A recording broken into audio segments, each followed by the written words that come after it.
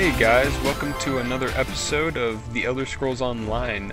Today I'm going to be showing you how to craft, specifically a, a wooden bow.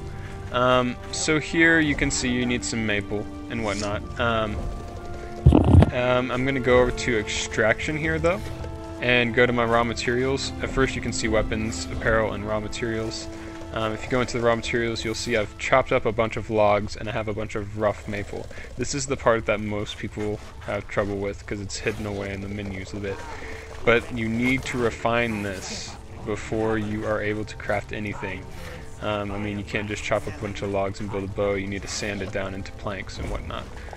So uh, that's what I just did there. Another thing to note is that you also need 10 to be able to refine it. So you can't just chop down two logs and then go make a bow, even though you might only need two planks or something. Um, you have to do 10 at a time. So 10 wooden logs, sand them down, then you can craft a bow. Um, but here I'm showing you guys that uh, the more planks that you have, or the more planks you put into crafting your bow, the higher level it will be.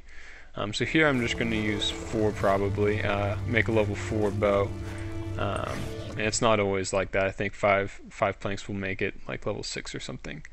Um, but here, uh, you also need to pick a style. So the style is something that coordinates with the race you chose. Um, obviously, you can learn more styles, but as I'm a Nord, I will be able to craft the Nord style um, from the beginning.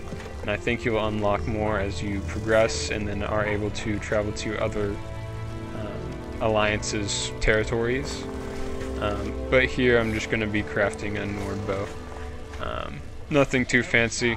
Saiyan just needs a bow. Uh, he hasn't found anything good in a while. But um, here um, you can see I don't really have anything. But for the Nord bow, I do need a corundum ingot. Specifically for that style. Um, each style will require a different material. Um, so I just went ahead and bought one really quick. See now it says I have one. back up to four because I want to make a little four bow. And um, I have not researched any traits. So traits are something you have to research. It spends like, you know, six hours or, you know, whatever. And after the time limit runs out, you'll have researched a trait that um, you're able to add to your bow. Maybe something like extra damage or better critical hit chance. Something similar to that. But not in this episode. Um, so there I have the bow. Um, Hope you guys enjoyed this video. Leave a like if you did and tell me if you learned something new or want me to go over something else in the next beta, which is coming up this weekend. Um, and yeah, see you guys around. Thanks for watching.